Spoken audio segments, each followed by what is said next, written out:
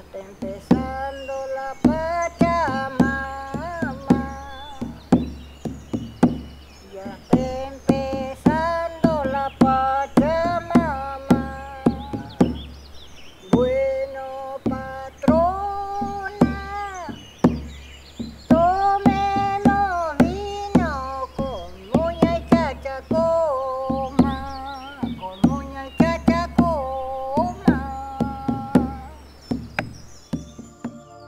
La cosmovisión de Aguita se basa en el respeto a la,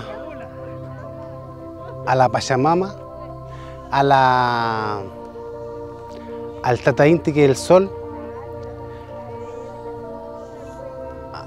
a- la luna, a la naturaleza, al agua, es un todo. La cosmovisión indígena de Aguita es un todo. Yo, yo creo que el respeto que debemos tenerle a la tierra, al ser vivo, al que está al lado. Ser de Aguita y su convicción y darle gracias a todos los días al sol por la vida y dar gracias al agua que nos quita la sed.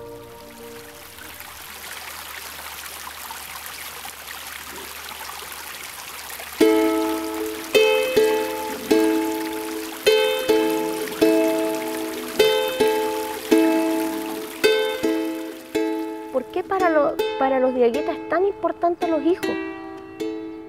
Y eso es recurrente en todos nosotros, cada vez que nosotros hablamos, para los diaguitas es muy importante. Un diaguita es capaz de dejar de comer por darle a un niño. Y hay otros pueblos, yo no digo los de acá, pero hay otros pueblos en todo el mundo, hay pueblos donde dice niños enfermos y adultos mayores son débiles. Y se tiene que preservar la raza. En cambio acá la preservación iba por los niños. ¿Qué tenía de especial? Eso es lo que buscamos. Esa es la importancia. La importancia de estar en este proceso de, de reidentificación, de revitalización. Yo no le digo renacimiento porque no murieron. Solo estaban ocultos. O sea, se tiene que revitalizar. Es como la semilla oculta en invierno que vuelve a brotar en verano. Pero está. Siempre está ahí. No es algo que haya desaparecido y apareció por generación espontánea. Este, este proceso que se está viviendo aquí, en la cuarta, en la metropolitana, incluso en la tercera, ¿por qué no decirlo? En todos lados. Hay un proceso de revitalización, de reubicación, de, de pararme en este gran cosmos y entender que soy parte de algo más grande que me lleva finalmente a construir esa cultura que algunos historiadores decían que era el tercer gran imperio eh, perdón, el cuarto gran imperio en América si no hubiesen llegado los españoles. Es esa la importancia de los dieguitas.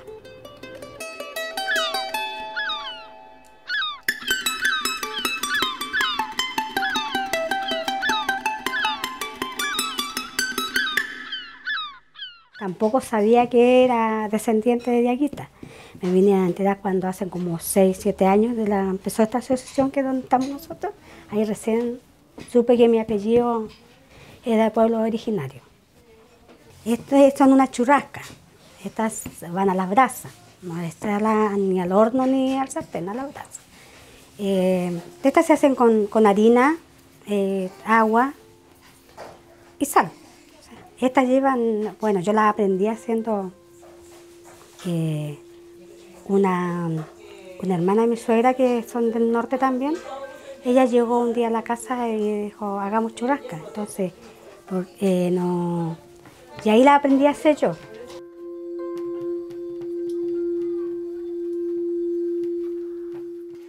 Ahora viene ir a echarla a la brasa. Tiene que, hay que con un tenedor se, se pincha la, la masa por los globitos de la, del polvo rocha.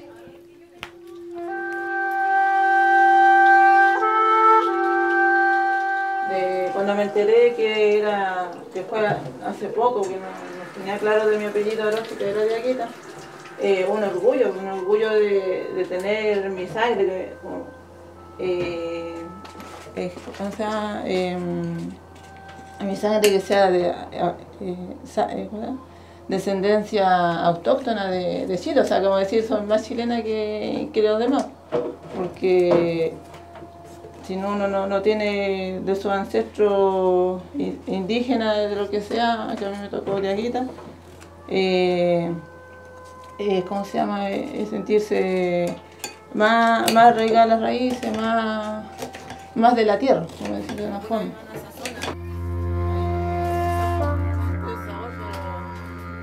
Yo como yo encuentro difícil, difícil aquí, pero eh, transmitiendo lo que es las comidas, eso como que uno transmite a la gente que, que no conoce, porque me costó hasta encontrar chicharacá.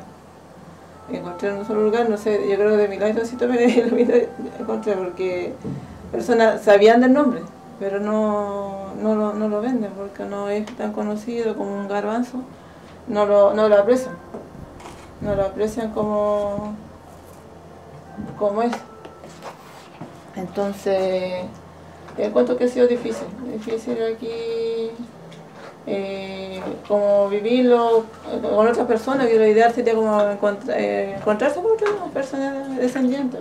Una familia de Aguita no es muy grande, que digamos, y está casi toda entre la tercera eh, la segunda región, más o menos.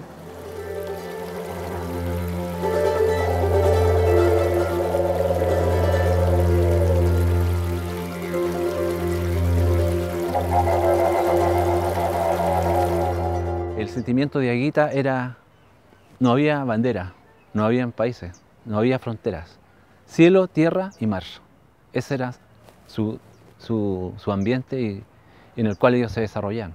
Entonces, esto para mí en este tiempo siento que el hombre muchas veces, nosotros nos perdimos muchas veces. Nos perdimos siguiendo cosas que no, no son más importantes, que son las que deberíamos estar preservando en el tiempo. El respeto hacia la naturaleza, el respeto hacia el medio ambiente, el respeto hacia nosotros mismos. Eh, al ser diferentes, aceptarnos, eh, tratar, entendernos, comprendernos y poder eh, en el tiempo, ya que ellos lo han permitido hasta, esta fecha. El que estemos eh, compartiendo, conociéndolo con diferentes familias que no teníamos idea, que no nos habíamos juntado jamás porque no los conocíamos. Y aquí lo redescubrimos, por eso yo digo que es un redescubrimiento del pueblo de Yaguita.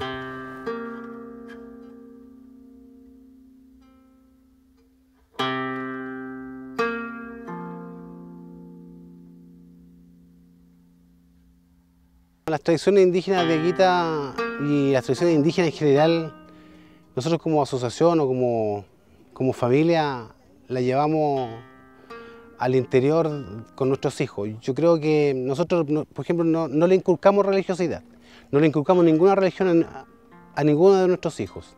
Los pueblos indígenas tienen una religión diferente, deidades diferentes, cosas diferentes. Por ende, nosotros como asociaciones queremos rescatar todo eso de los pueblos indígenas. Nosotros amamos, amamos, res- respetamos y amamos la tierra, el sol, la luna. Nosotros creemos en, una, en los ciclos de la vida, creemos en que la tierra te da todo para poder sobrevivir.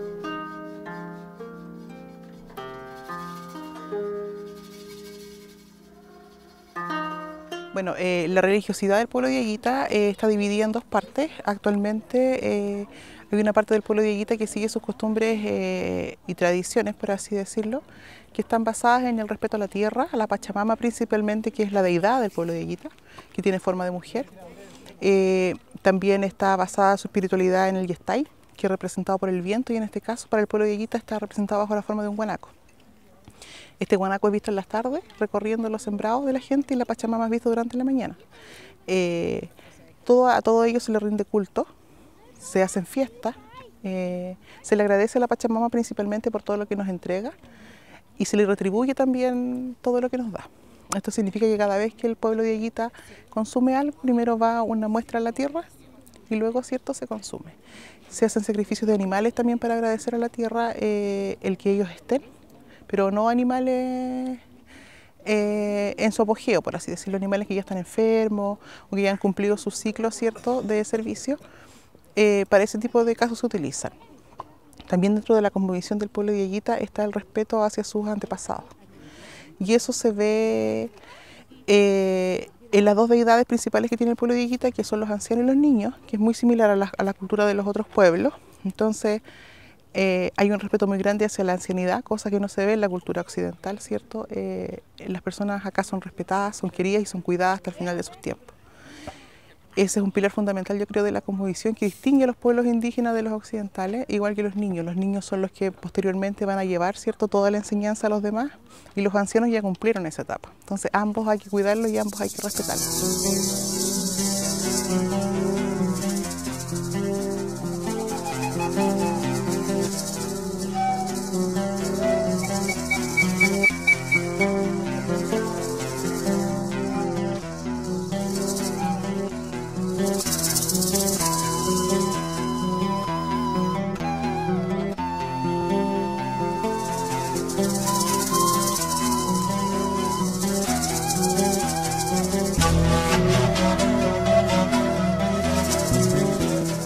Agradecemos esta oportunidad que tenemos de reunirnos con nuestros hermanos que vienen del norte, con su sabiduría, con su cosmovisión más, más clara que nosotros los urbanos, como nos llaman, y contentos por supuesto y con todo el deseo de poder revitalizarnos. Es la idea, nosotros dejamos todos nuestros quehaceres y todo porque sabemos que de aquí vamos a salir con mucho más conocimiento, con muchas más, una visión más clara del camino a seguir, porque nosotros estamos reviviendo acá por lo menos en Valparaíso.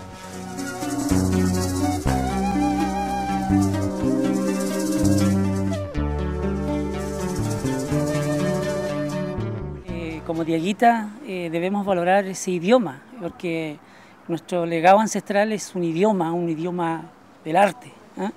Porque a veces nos dicen no tenemos lengua, pero tenemos este idioma, un, idioma eh, en el arte y eso es lo que yo trato de rescatar trato de rescatar las iconografías, vengo a enseñar un poco lo que es la estética. Eh, estoy trabajando más de 20 años lo que es el rescate de estos, de estos iconos, ¿ah? de estas figuras y todos los trabajos geométricos que trabajaba los, los diaguitas. Y poder en este lado contemporáneo reinterpretar, recrear, eh, reestudiar todo este trabajo simbólico y artístico. Lamentablemente no tenemos eh, registro. Culturalmente fuimos arrasados, por decirlo de alguna manera, y lo que estamos tratando de hacer ahora es recuperar aquello. Y además no tenemos territorio. No, eh, a diferencia de otros pueblos indígenas que efectivamente pueden vivir en territorio y para los que está pensado la política pública en este país, eh, es, distinto a lo nuestro. Nosotros no logramos vivir en comunidades porque, como te decía, el desarraigo fue muy brutal.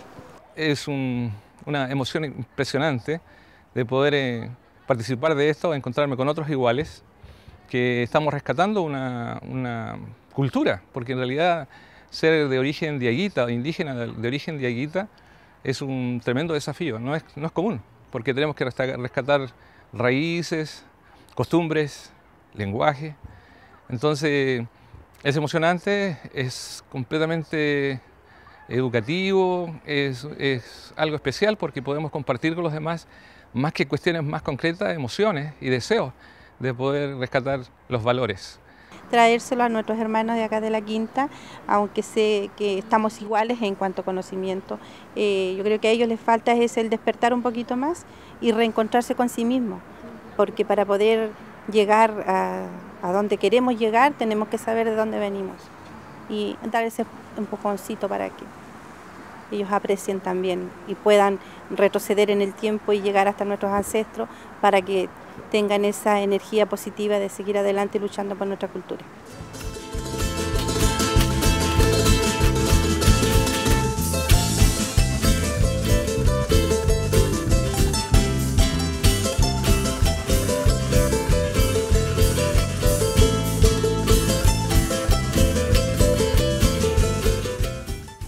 Desde la llegada de los invasores, me, refiero a los incas y a los españoles, los pueblos indígenas al interior de los territorios de América del Sur fueron mermando sus costumbres y tradiciones.